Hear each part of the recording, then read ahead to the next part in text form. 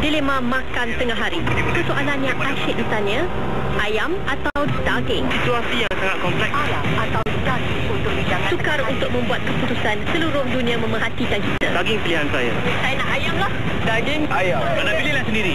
Dua-dua membeli. Dengan harga luar biasa, pilih saja dua-dua dengan Mac Value Line. Double cheese sebagai harga baru RM6.95 sen. Mac chicken masih RM5.95 sen. Bersama kentang goreng dan minuman ringan. Hidangan tengah hari terhebat kini lebih menakjubkan.